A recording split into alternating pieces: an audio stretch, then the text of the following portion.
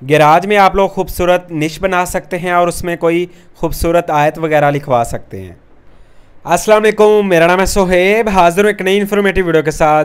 आज की हमारी वीडियो है कि आप अपने घर के लॉन में, अपने घर की निशेज़ में, दीवारों में कुछ ऐसा काम कर सकते हैं जिससे आप लोगों के घर की जो लुक है वो मज़ीद बेहतर हो सकती है, आप लोगों के घर की दीवारें मज़ीद खूबसूरत हो सकती हैं।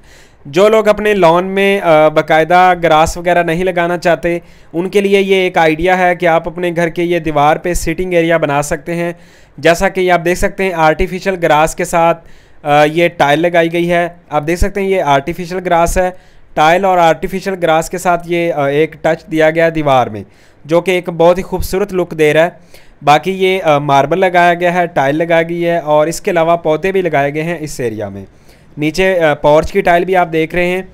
और ये ऊपर लगाया गया है ट्रॉपिकल ग्रेनाइट आप अपने घर में कोई भी मार्बल लगाना चाहें, लगा सकते हैं। अगर आप लॉन नहीं बनाना चाहते तो दीवार में ये आप अपना काम ज़रूर कर लें। आप अपने लॉन में कुछ चीज़ें भी खड़ी कर सकते हैं, जैसे कि बाइक्स वगैरह, और ये आप लोगों का जो थोड़ा सा एरिया है, इसमें आप लोग ये भी बना सकते हैं। जैसा कि ये टाइल और आर्टिफिशियल ग्रास इसके अलावा निशीज़ में आप लोग काफ़ी ज़्यादा काम कर सकते हैं, वो भी आप लोगों को दिखाते हैं वीडियो में आगे जाके।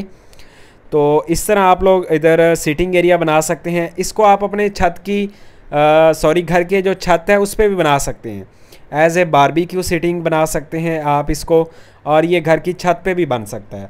और ये इधर बना हुआ है एक लॉन में, और अभी आप लोगों को दिखाते हैं ये एक खूबसूरत निश ये आप देख सकते हैं ये घर के गराज के बिल्कुल सामने निश है जिसमें खूबसूरत आयत लिखी हुई है फ़ाबी अजी लाई रबी कुमा तो कज़ीबान तो आप लोग इस तरह निशेज़ में ये मोजैक का काम है ये ज़रूर करवाएँ और फ्रंट पे टाइल लगी हुई है जो कि एक बहुत ही खूबसूरत लुक दे रही है।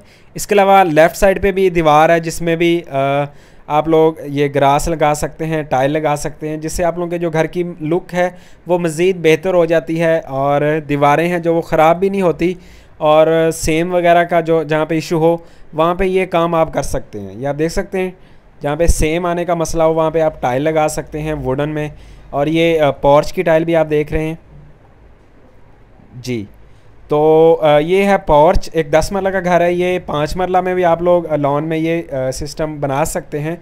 सामने ये लॉन का एरिया है, यहाँ पे हमने ग्रास वगैरह या पौधे वगैरह नहीं लगाए।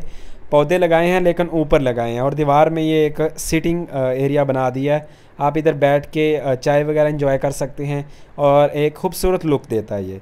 इसके अलावा घर के अंदर भी आप लोगों को निशीज़ में दिखाते हैं।